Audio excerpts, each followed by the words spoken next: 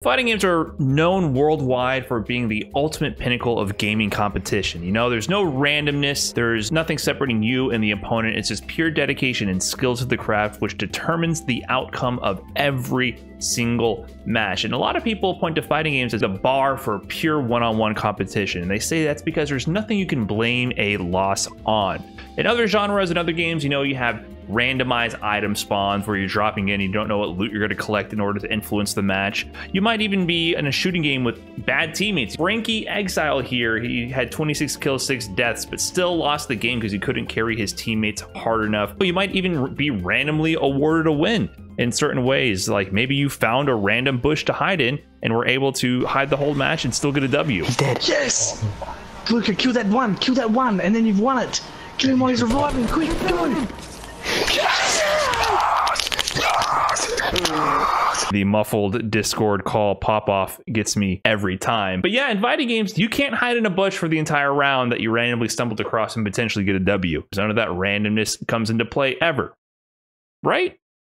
Well, actually, if you pay attention to the genre, there's actually a lot of randomness or RNG, random number generator, as people refer to it in the gaming community, in fighting games. It's actually present in many built in mechanics and sometimes in some not so visible mechanics in the game as well. So I asked you guys on Twitter to share with me some of your favorite examples of RNG in fighting games, and you guys really shared a lot.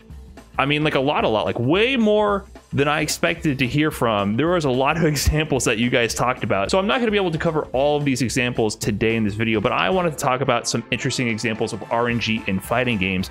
And at the end of this video, I'll give you an example that might shake your very understanding of the foundations of the genre itself. So please be sure to stick around for the end to see that example that I'm talking about. The number one most prevalent and, and strongest example of RNG in the FGC today is whether or not you're subscribed to the Brian F YouTube channel. Odds are 40% of you watching this video right now are not subscribed to the channel. So if you want to make this a little bit less random, you know, a little bit more deterministic, please go ahead and consider subscribing to the channel. It really supports me and this channel. And if you enjoy the content, I would really appreciate that. With that out of the way, you know, you got to shill for yourself here and there. Let's go ahead and talk about the real first example. You're probably tired of him by now if you've been watching this channel for an, any amount of time recently.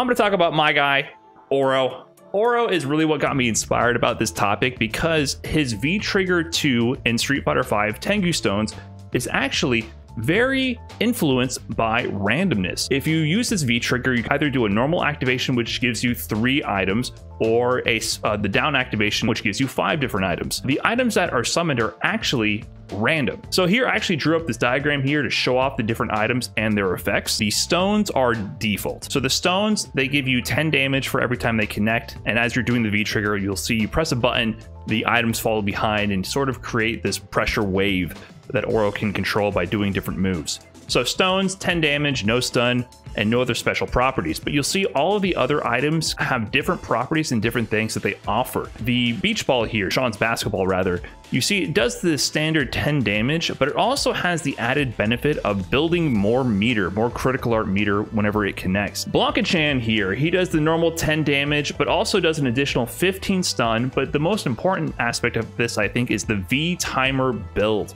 It does 10 frames of V timer, which is hard for me to even wrap my head around, but in practice, essentially, you will build back a tiny amount of V meter every time it hits, so you're you're able to potentially use the V trigger for longer. Here we have the, the dinosaur, the clay dinosaur, very similar to Blanka Chan, but rather than doing 15 stun, it does 10 stun and does more V time build. It does 20 V timer build. So these two items in conjunction with each other can often lead to really interesting outcomes that we'll take a look at in a second here. With the details out of the way, you might be wondering how does this actually have impacts in actual gameplay and actual matches? I can show you here, I actually cooked up a few comparisons here to show you in detail exactly how this can play out in a real match. So here, first off, we have regular Tengu combo. This is all stones here, so no special properties. So this is a normal combo using the stones to extend the damage and get to the corner, you know, do this combo sequence. But what happens if we do the same route, but potentially have some special items? So in this summon, we were able to get a Blanka Chan and a Clay Dinosaur.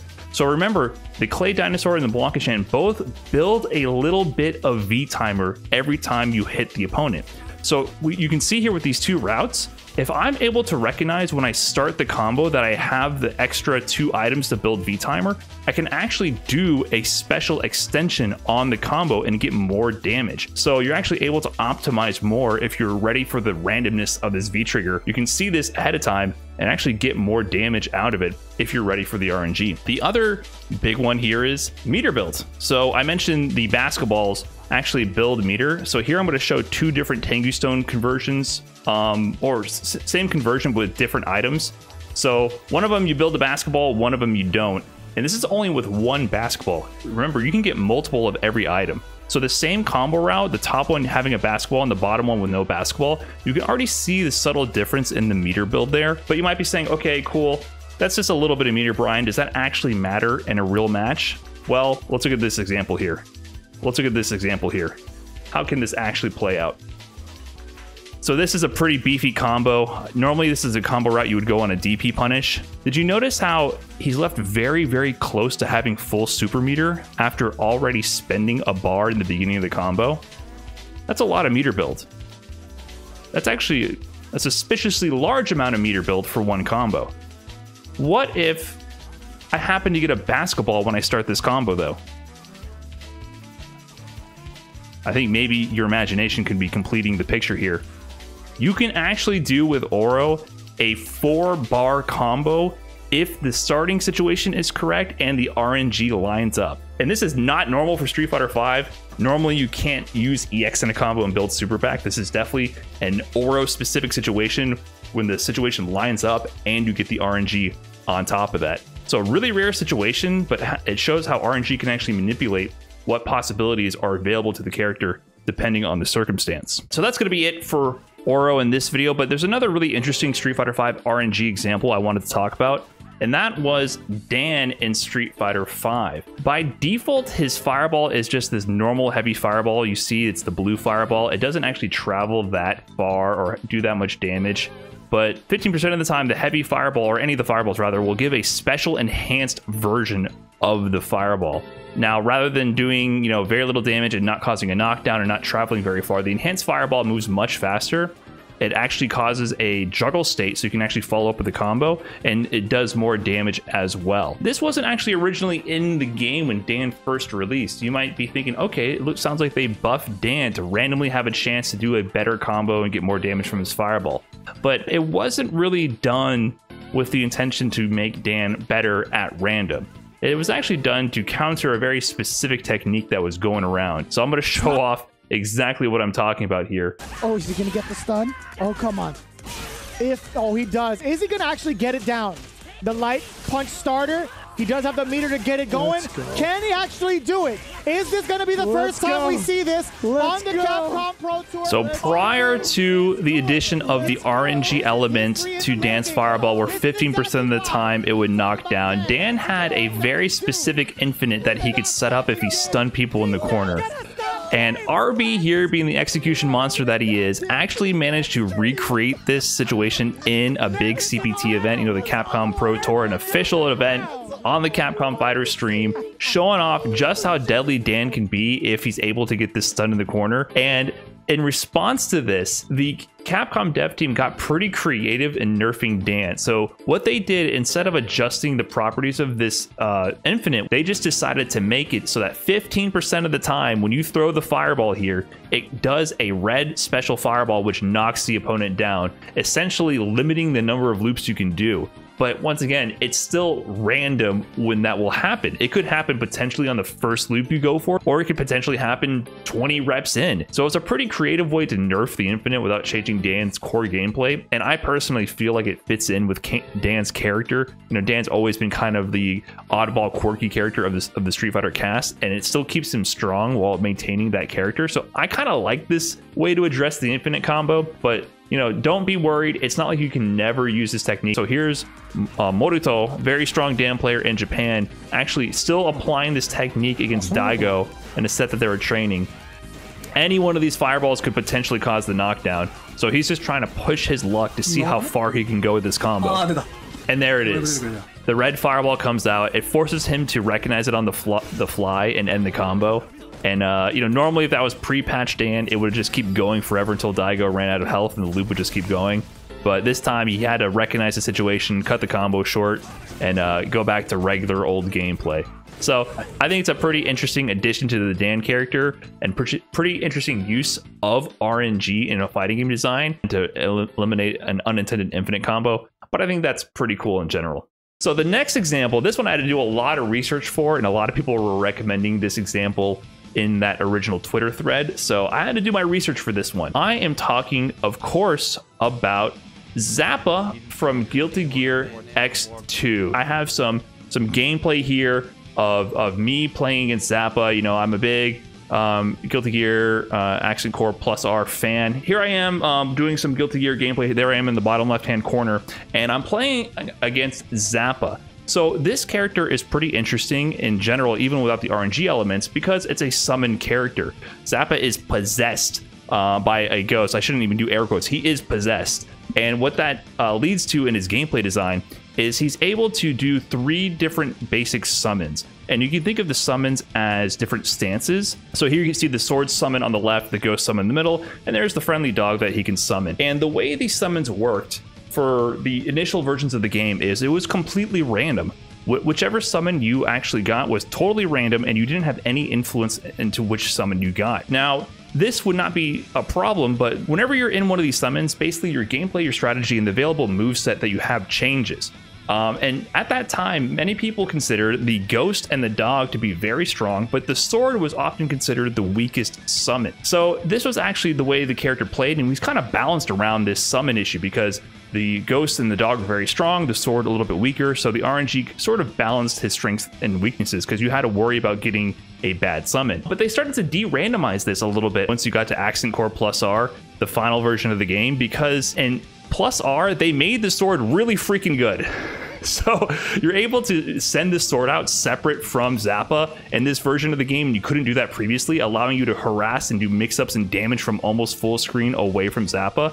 So they kind of eliminated that one weakness of him randomly getting the bad summon by making every summon really good. I, I like the balancing they had prior to Plus R, where you kind of had to worry about getting a bad summon. Once it went to everything is good, this character became a big problem in this game, and uh, to, to many, still considered the best in the game to this day. For the next example, I had to talk about it a little bit. I know oh, many people watching this video won't want me to go in this direction, but I'm going to talk a bit about Smash because the Smash Brothers series is one of the biggest series that uses RNG in so many different creative ways. There's too many to really list, so I'm just going to talk about a few that I cherry picked here. One of my favorite examples is with Peach. So Peach is a decent character in Melee. Um, you know, one of the best melee players of all time, Armada, the most consistent uh, solo mained uh, Peach for the longest time. And you know, she's decent, decent in Ultimate. But one consistent move that she had was the ability to pull a turnip from the ground, as you see in this footage, and use that as a projectile and item to zone the other characters. However, it wasn't just always a turnip. In fact, sometimes it wasn't a turnip at all. There's RNG moments where you would actually pull out maybe a sword or a bomb and more importantly, you could also pull out a stitch face. So beyond just having the regular items um, that you could pull out, there's a percent chance that the turnip you pull has different special properties as well.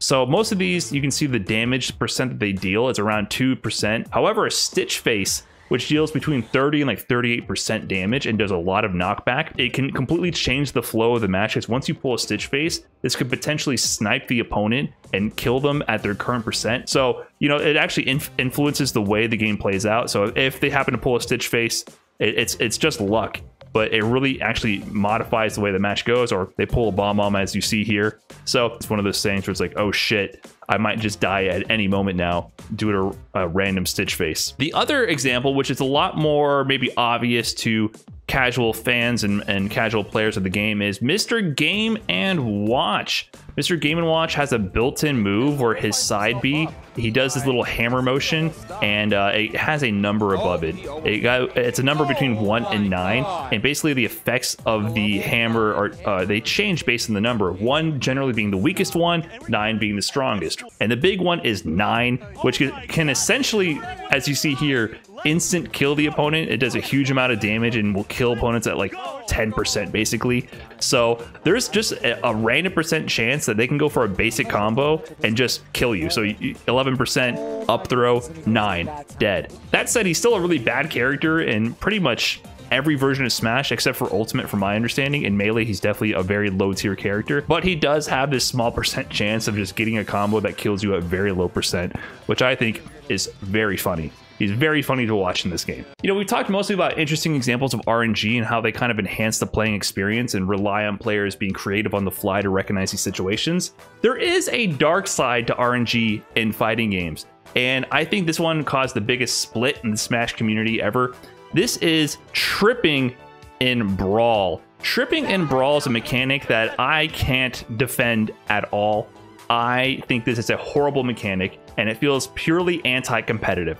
So in Brawl, there's a 1% chance that you will trip when you start a dash and you just essentially trip, you fall down. It's like getting knocked down for no reason. And there's a 1.25% chance of tripping if you're doing a run and you turn around. So th- this can actually cause you to lose tournament matches. I think Brawl is actually a cool game overall at high level. It has a lot of balancing issues and other issues, but tripping is one part I can't get into. The fact that you could just randomly be punished and potentially lose over a mechanic that neither player has any control over. It doesn't take any skill to punish someone for tripping. It doesn't take any skill to avoid tripping. It's just pure randomness for the sake of randomness. Um, it's definitely the dark side of RNG in fighting games. And hopefully we see none of this ever again. My next example, like I mentioned in the beginning, this one is actually at the core of the FGC. Many people think that fighting games, you know, they're purely competitive, no randomness whatsoever. But I feel like this example sets the foundation of the FGC and proves that the fighting game genre from its inception is built with at least a touch of randomness. I'm talking, of course, about the grandfather of it all, Street Fighter 2. Street Fighter 2 is a random game. I don't know how else to put it, but when doing research for this video, I was trying to get a nice, concise summary of, of this game's randomness, and it was very difficult to get the the basics down because almost every mechanic in this game is random. Here's the highlights I was able to parse apart from all these different sources.